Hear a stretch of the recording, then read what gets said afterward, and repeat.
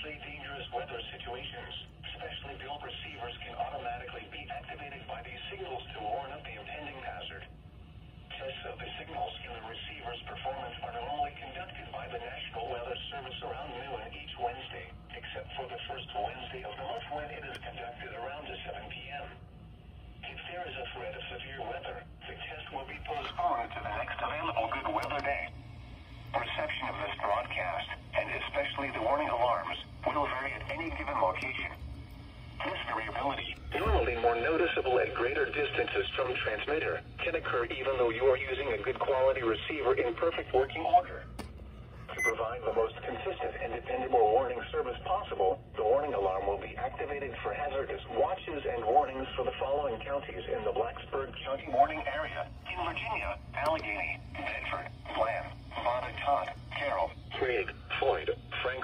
Giles, Halifax, Henry,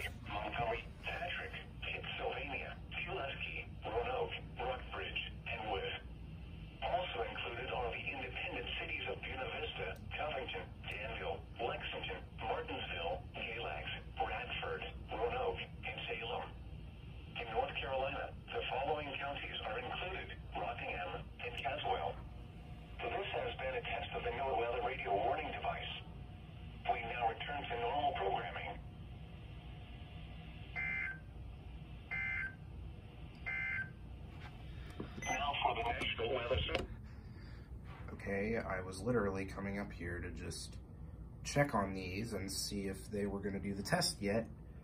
And I guess I came up here at the right time because I was in the middle of eating dinner.